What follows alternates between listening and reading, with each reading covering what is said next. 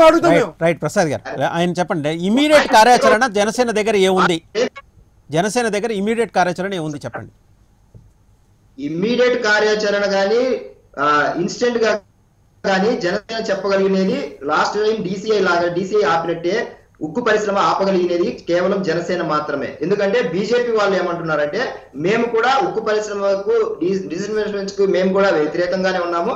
కాబట్టి కలిసి పోరాడదాం అందరం కలిసి కట్టుగా వెళ్దామని బీజేపీ కూడా అంటుంది. కానీ అందరికన్నా వివేక్ బాబు గారు గాజువాకలో పవన్ కళ్యాణ్ గారు ఫస్ట్ నామినేషన్ వేసిన తర్వాత ఆయన చెప్పింది ఏంటంటే కార్పొరేషన్ ప్రైవేటీకరణ కాకుండా కాపాడుతానన్నాడు అదే టైటిల్లో స్టీల్ ప్లాంట్ స్టాండ్ చెప్పమనండి. అది మాకు కావాల్సింది అరే, ఆగండి సార్. లేదు, ఊరికే మీతో మాట్లాడతాను నేను నా వాయిస్ వెళ్ళకుండా నన్ను దూరంగా నా వాయిస్ డిస్టర్బ్ చేస్తున్నారు మాట మాటికి? మీరు వాయిస్ చెప్పట్లేదు సార్ మీరు కరెక్ట్గా వివేక్ బాబు గారు ఇలా let- మాట్లాడరు. విధానం నాకు తెలుసు. ప్రసాద్ గారు, ఇవాళ ఇంత సైలెంట్గా ఉంటే నాకు బాధగా ఉంది. చెప్పండి మా చెప్పండి వివేక్ బాబు గారు ఇలా మాట్లాడరు. నేను స్కైప్లో మాట్లాడుతున్నాను. నేను సైలెంట్గా ఉన్నాను మీరు స్టూడియోలో ఉన్నారు. తేడా ఉండాలా నా వాయిస్కి మీ వాయిస్కి రైట్ రైట్ వివేక్ గారు చెప్పండి మీరు చెప్పండి. సార్ ఒక్క నిమిషం. లెట్ టీమ్ కంప్లీట్ ఆయన ఇమీడియట్ కార్యాచరణ గురించి. వాయిస్ సైలెంట్గా ఉన్నాను నేను చెప్తున్నా కొడుతున్నారు కదా మీరు మాట మాటికి. సార్ రైట్ చెప్పండి. వాసుదేవన్ గారు ఒకటే చెప్తున్నాను. ఉక్కు పరిశ్రమ ఆపగలిగేది జనసేన మాత్రమే. ఎందుకంటే అందరికన్నా ముందు జనసేన మాత్రమే స్పందించింది. మిత్రపక్షంగా ఉన్నా ఒకటే మాకు మిత్రపక్షంగా లేకున్నా కూడా ఒకటే. మా అధినేత ప్రజల పక్షంగా ఒక బాధ్యత కలిగిన పార్టీగా పెట్టినందుకు ప్రజల పక్షాన్ని అడ్రస్ చేయడానికే ఉన్నారు కాబట్టి మేము వాటిని ఎట్టి పరిస్థితుల్లో ఆపాలి. ఆపే కార్యాచరణ కూడా మా దగ్గర ఉంది. చివరికి కోర్టుకు కూడా వెళ్తాము. దాంట్లో ఏ ఎటువంటి ఎందుకంటే ఆల్రెడీ నిర్వాసితులకి ఇప్పటి వరకు న్యాయం జరగలేదు. అది అది సాధ్యమయ్యే పని కాదు. దాని మీద ఖచ్చితంగా ప్రజా సంఘాలతో కావచ్చు పార్టీలతో కావచ్చు ప్రభుత్వంతో కావచ్చు కలిసి ముందుకు వెళ్తాము దాని యాక్షన్ ప్లాన్ మేము ఏం చేయాలో కూడా భవిష్యత్తులో మీకు చూస్తారు. రైట్ రైట్ రఘునాథ్ బాబు గారు చెప్పండి. రఘునాథ్ బాబు గారు అప్పుడు ఆన్సర్ ఓకే కోర్టు అన్నారు కదా మీరు. అంటే కేంద్ర ప్రభుత్వం మీద కోర్టుకి వెళ్తారు? అంటే ప్రసాద్ గారి ప్రశ్న లేకపోతే ప్రజలందరి ప్రశ్న కూడా. ఎందుకంటే మీరు దానికి సమాధానం చెప్తే రఘునాథ్ బాబు గారు వెంబడే ఉన్నారు అక్కడ ఆన్సర్ చేయడానికి ఎలా అడ్రస్ చేయబోతుంది బీజేపీ ప్రభుత్వం అనేది? నిర్వాసితుల నుంచి వేస్తాం సార్ కేసు. నిర్వాసితుల ద్వారా వేస్తాం. అసలు ఎలా అవుతుందో అది కేసు ముందుకు. నిర్వాసితులు ఉన్నారు. ఇప్పటికీ న్యాయం చేయాలి వాళ్ళు ఒక వేసినప్పుడు కోర్టులో కేసు హోల్డ్ అవుతుంది. ఎందుకు ఉక్కు పరిశ్రమ వదిలేస్తారు మీరు? నిర్వాసితులకు రైట్ రఘునాథ్ బాబు గారు. రఘునాథ్ బాబు గారు రఘునాథ్ బాబు గారు. మీ మిత్రపక్షం.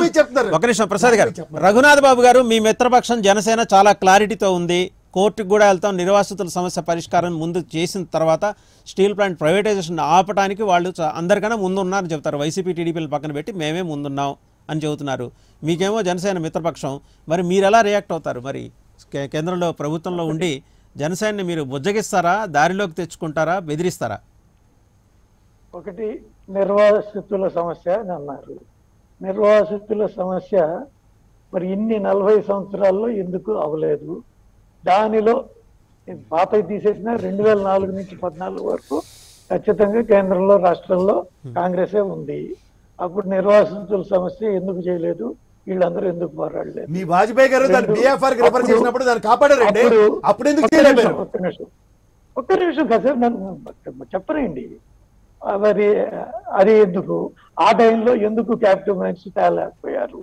ఇప్పుడు సరే. అట్లా నేను రాజీనామా నేను రాజీనామా గురించి నేను మాట్లాడింది మళ్ళీ ఒకసారి చెబుతా ఇప్పుడు మన ఆ రోజున చంద్రబాబు నాయుడు గారికి ప్రభుత్వం ఉన్నప్పుడు వ్యతిరేకంగా కేసీఆర్ గారు రాజీనామా చేసి వచ్చి ఆయన మళ్ళీ నిలబడి తెలుగుదేశం మీద చాలా భారీ మెజార్టీతో గెలిచారు. ఆ తర్వాత ఆ ఉద్యమాన్ని ఇక్కడ పోటీ ఎవరి మధ్య? అక్కడ అధికారంలో రాష్ట్రంలో అది ఉన్నటువంటి తెలుగుదేశం మీద ఆయన అప్పుడు చేశారు.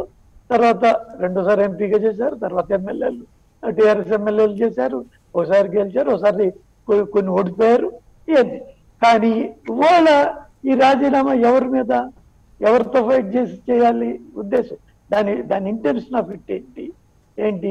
మరి ఆ రోజు చంద్రబాబు నాయుడు గారు కేసీఆర్ రాజీనామా చేస్తే పోటీ పెట్టుకుని ఆపారా? పెట్టారు. పెట్టితే ఓడిపోయారు. కానీ అక్కడ పోటీ వాళ్ళిద్దరు పడి కాబట్టి ఇక్కడ రాజీనామా అంటే వాళ్ళు చంద్రబాబు నాయుడు గారికి అడగటానికి హేతుబద్ధం ఏంటి? దట్ లాజిక్ బిహైండ్ దట్ ఏంటి? నాకు అర్థం కాల. మళ్ళీ కూడా అదే చెబుతున్నా. రెండోది రీఇట్రేట్ చేస్తున్నారు పదాక అని మీరు అన్నారు. రీఇట్రేట్ చేస్తారు ఎప్పుడు? క్వశ్చన్ అడిగారు కాబట్టి సమాధానం చెప్పాలి కాబట్టి. క్వశ్చన్ లేకపోతే అసెంబ్లీ పార్లమెంట్లో రీట్రేట్ చేయాల్సిన పని లేదు. పని కట్టుకుని చెప్పే పని లేదు. కానీ అడిగారు కాబట్టి దాని సమాధానంలో automatic loss.